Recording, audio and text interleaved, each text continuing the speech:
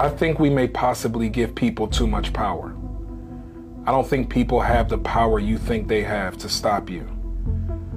Uh, through the history of time, if God has ever put his hand on somebody, nobody in the world can stop it. The only person that can stop what God's going to do for you is you and disobedience.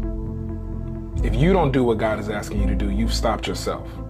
The Bible says that stubbornness and rebellion is as the sin of witchcraft. Rebellion is just like witchcraft in God's eyes. And some of us are praying against witches and praying against people that's coming against us. And you may be the biggest witch in your life. Just because you're rebellious, just because you don't do what God asks you to do, just because God has to fight with you over the little things.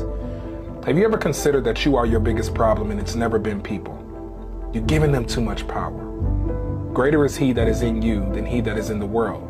But if you got he that is in you cuffed up, due to rebellion, what can he do?